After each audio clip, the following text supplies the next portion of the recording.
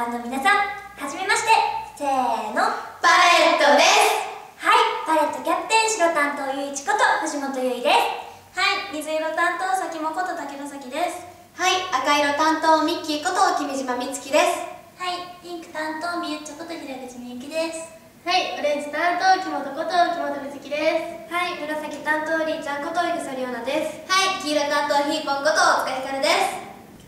はいそしてこの私たちパレットは3月6日にセカンドアルバムをリリースすることが決定しました。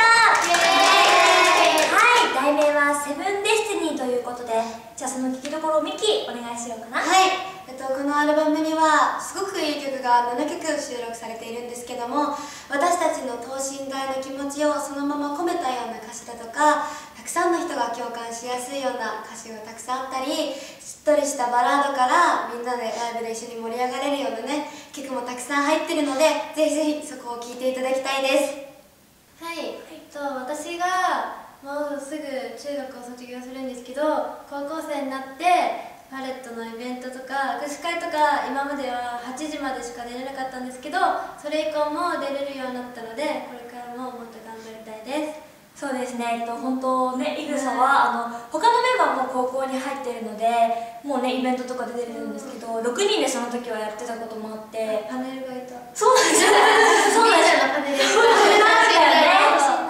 うなんですよ、そのパネルもそろそろね、なんか、使う機会がなくなって、そのパネルからも卒業するということで、私たちも、なんか不思議な感じですけどね、ねよかったらでも出れるようになってね、そこはね、本当、メンバー全員大人になったなと思います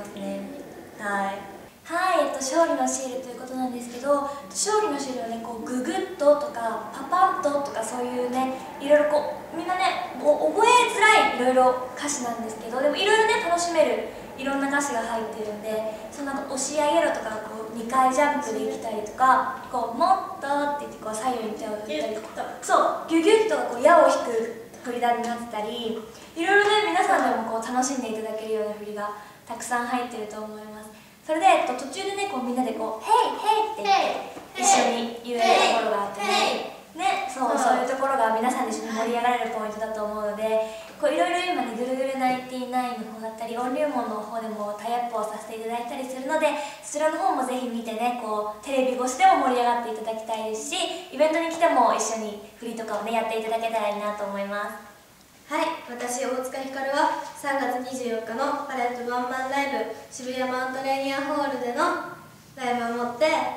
卒業することを決めたのですが私はこれからも私の道を行くので皆さんよろしく応援よろしくお願いします。はいそして、えっと、3月6日に、えっと、先ほども言った通りセカンドアルバム「セブンデスティニーが発売になりますイエー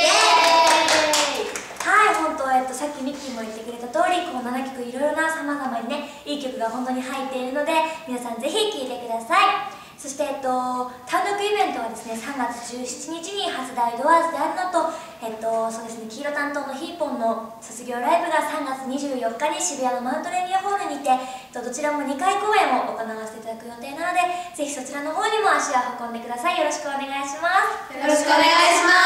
す。はいということでですね、えっと、私たちこれからもまあもちろんヒップも抜けちゃうんですけどそれまではもちろん7人でそしてこれからは6人で頑張っていきたいと思うのでパレットのことをぜひ注目してください。お願いします。お願いしお願いします。はい。ということで以上